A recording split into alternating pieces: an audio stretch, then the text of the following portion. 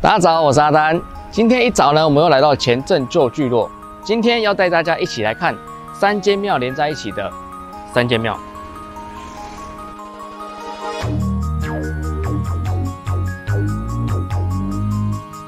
本集与中山大学品创基地联名播出。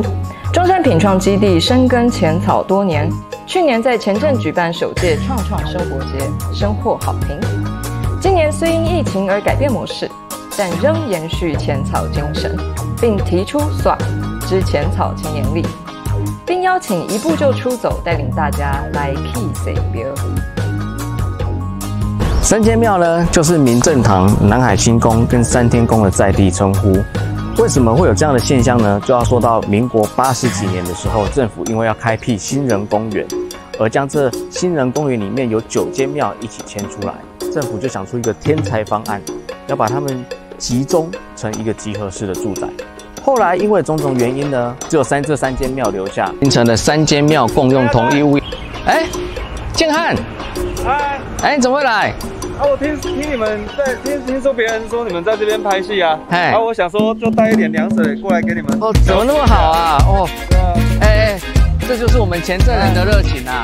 建汉是我们这个青年创业返乡的这个青年有为青年之一哦。哎，跟大家介绍一下吧。呃，我是全八月的全八月金木犀专卖的店长。哎，啊，来来来，这个我们开箱一下店店店长带给我们什么好料的。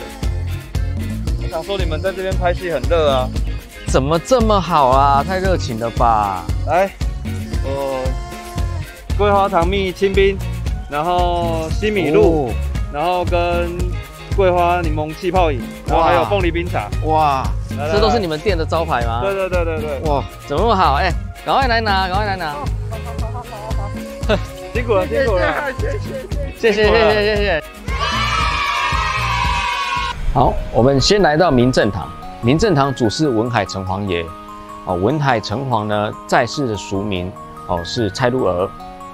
蔡禄儿过世之后呢，地方一度不平静，所以在地这个前镇旧聚落居民呢，就前往这个慈政宫来请当地的城隍爷出来跟他协调。协调之后呢，蔡禄儿决定在城隍爷的座下修行。修行圆满之后呢，他升格成了义印宫。那在义印祠的旁边会有山池，义印祠就是奉祀义印宫的地方。好，那以前小孩子很喜欢在山池那边玩。跳山木啊什么的，可是其实这很危险。他如果一不小心这样从这山木这样跳跳跳跳下去之后呢，这山木就会合起来。合起来之后呢，小孩子就在水里面，那就。所以呢，一阴宫镇守在这个地方，这个世界后来就少了很多。所以后来呢，一阴宫也升格成了文海城隍。好，一进到庙呢，我们可以看到这边呢有这个陈胜勇先生的碑记。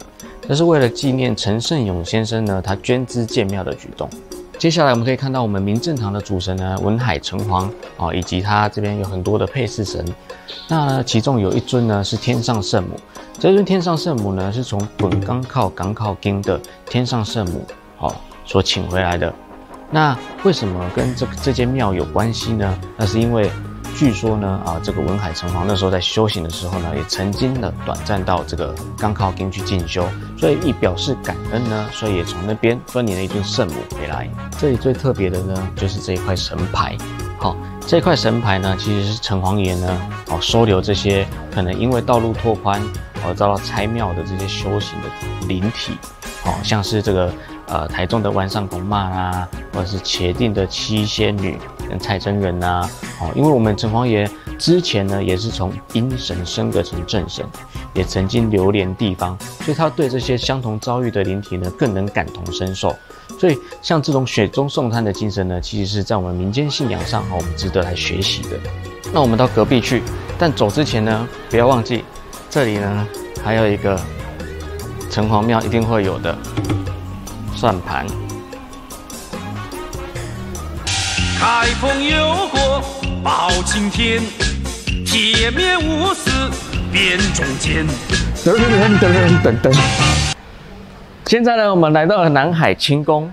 南海清宫呢，主祀是阎罗天子包青天，相传包青天死后呢，来到了地府上任阎罗王。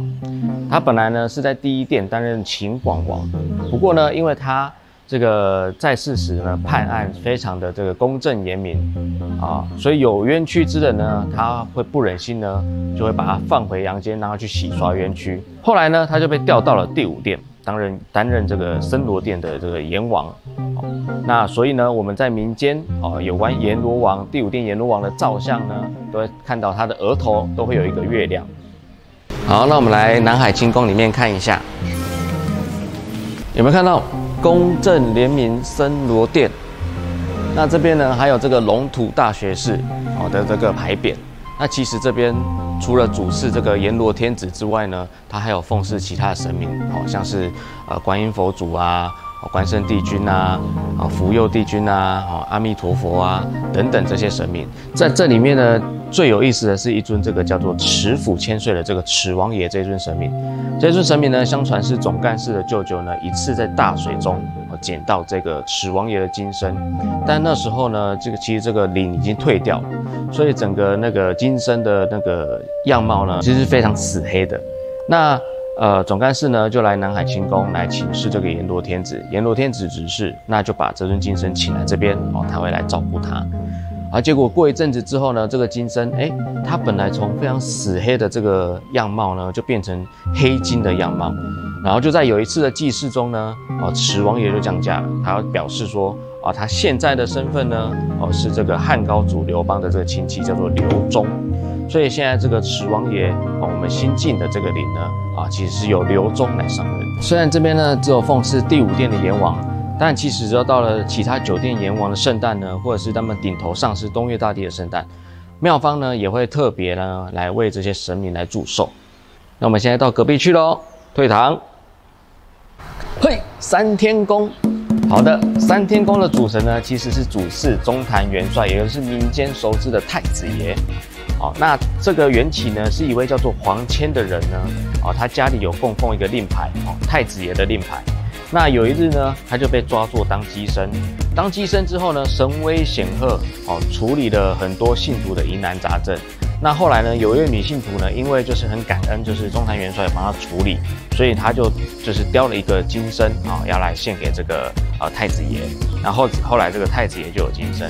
那在民国六十五年的时候呢，又改名叫做高义巡天府。民国八十八年呢，就搬来这里，好现址这个地方，哦，并改名三天宫。三天宫呢，后来呢？哦，因为这个黄谦呢，他们自己的家呢，想要请这个太子爷的金身回去拜，那一间庙呢不能没有金身嘛，所以呢，他们后来就询问了中台元帅说，那后来这个要怎么办呢？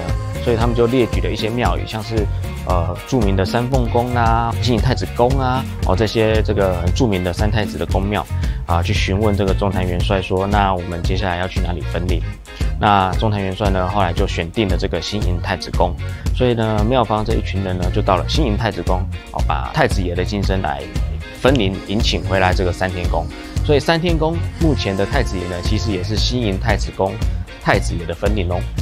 好，我们可以看到哈，其实从刚刚我们从明正堂啊、南海清宫到三天宫，其实这三间庙的格局其实是大同小异。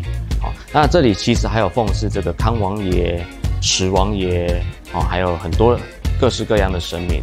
这里每个礼拜五晚上八点呢，啊，都会有这个机身，然后会有中坛元帅跟史王爷降驾，啊，来替信徒这个办事。那康王爷的部分呢，它是比较对于这个接骨啊、筋骨方面比较厉害。那始王爷呢，他主要是办这种重大的事情，或者像是这个阴事的部分。